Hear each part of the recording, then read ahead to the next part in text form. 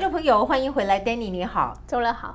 现在见到、听到更多、更多的呃，我们的华人的第二代啊，都是表现非常好，是。爸爸妈妈也非常疼爱这些有出息的儿女们，就在他们啊一进入职场，就强迫他们储蓄，是是。百给他们付一个头款，是帮他们去买一个房子，是然后你们自己去付 payment 啦，嗯，就这种趋势。对可是这个在借贷方面，还有在挑屋方面，要注意哪一些事情？嗯，其实这个就是最近一两年以来，就是很多华人都是有帮自己的小孩一一踏入职场，马上就买房子。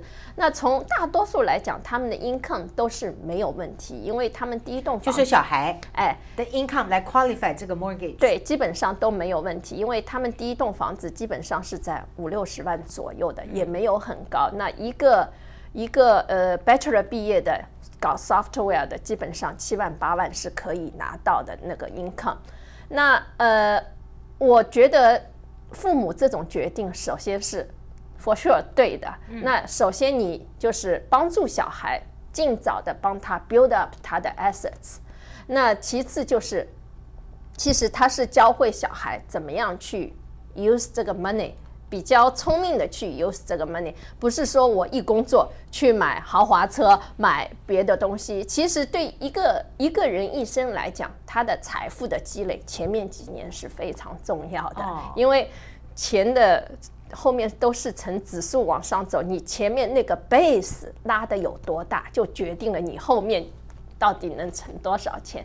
所以如果前面如果说同样两个小孩出来，前面五年一个前面五年一早出来就开始 build up 他的 assets，还有一个前面五年前都随便浪费掉的话，那若干年以后他们两个人的那个相差就不止如此了。呀呀那还有就是帮助小孩拿到那个 tax 的那个 benefit，他要 pay mortgage。那我觉得呃，华人华人的父母在跟小孩买房子的时候，他有两种方法可以做，一个就是说一个 gift 赠予他，就是一个 down payment 给他。也出一封信，This is a gift money. You 对 don't have to pay me back. 还有一种常见的就是父母作为不住在这栋屋子里面的 cosigner，那一般这种情况下，就是小孩的 income 可能会有一点问题啊，他要借助父母的 income 跟他一起来 qualify。Co-borrower 对，那呃那父母的名字要上 title 吗？要上抬头，你上 loan 的话就一定上抬头。哦所以将来你这个就要考虑到，将来你要 transfer title 的时候，它会有一个 transfer tax involved。就是他那个部分的 transfer tax。对它的那个 percentage wise，那很多就是华人就是我我父母就是我占的 percentage wise 少一些，对将来的 transfer tax 也少一些。对那从税上面来讲，至于两两种到底哪一个划得来，那你就 check 一下你的 CPA。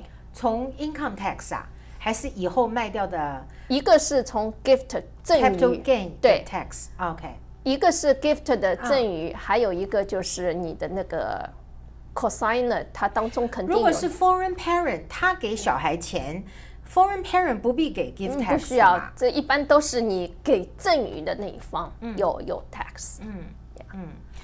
至于这个 transfer tax，我觉得在在做的的时候，其实 transfer tax 真的也并不是一个很大的 amount 的啦。好，那所以说，呃，其实现在如果要找个五六十万的房子给小孩子买，小孩子有的时候能力也比较强，有的时候甚至会买更贵的房子。是，因此 maybe 这个 parents 需要做他们的 co-borrower 了。嗯好，那么我们讲完了这个 parent，还继续的帮助小孩。嗯那接着呢，就进来看一下。Danny，你觉得现在在整个的 Greater Bay Area 里面有哪一些 recommended 的 area 呢？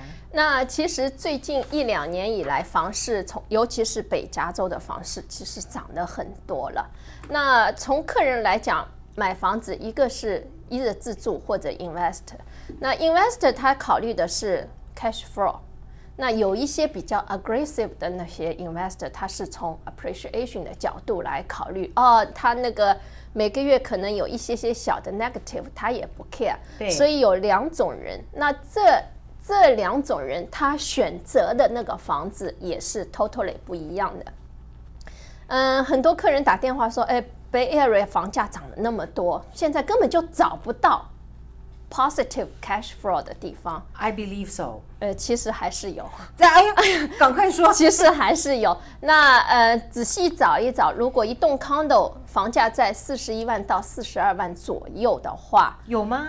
有，而且 location 不是不差的，还不错的，就是至少中上的。那它如果租金两千六百块的话，有啊，有。哦那你如果做一个三十年固定，或者是做一个 ARM program 的话，你每个月还是有三百块到四百块的 cash positive flow cash positive flow cash flow。哎呀，我的天哪！所以还是有，你还是要去仔细的找。嗯那还有一种就是说，呃，我们现在买房子，呃，稍微 aggressive 一点，那你就跟着市场的 business opportunity 在走，就跟着大公司在走。以前我们考虑的就是一定要学区好，学区好，学区好。那现在就是稍微看一下前面几年公司好，公司啊好，，Google 啊，Apple 啊，或者那个 Facebook 啊，你这些可以去去循着它的轨迹去找。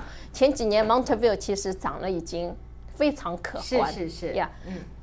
所以这两种两类客人都是可以找到呃相应的地方。如果客人呃对这些地方感兴趣的话，那不妨打一个电话。是的，如果还想深入的知道更详细的情况的话，现在这个整个的 environment 还有 real estate 的 industry 已经跟过去实在是变化太多，已经不一样了。请找到 Danny，他的电话是四零八八零二七二九六，或者是电邮就是 d w loan d w l o a n at gmail.com。今天的节目时间又到了，非常感谢 Danny，Danny 谢谢你。嗯，谢谢周乐，谢谢观众朋友。观众朋友，感谢您的收看，我是周乐。我们的节目都可以在所有的 social media 可以重复的收看的。那么至于津津乐道的现场节目，我们下礼拜同一时间再会。晚安，拜拜，祝您周末愉快。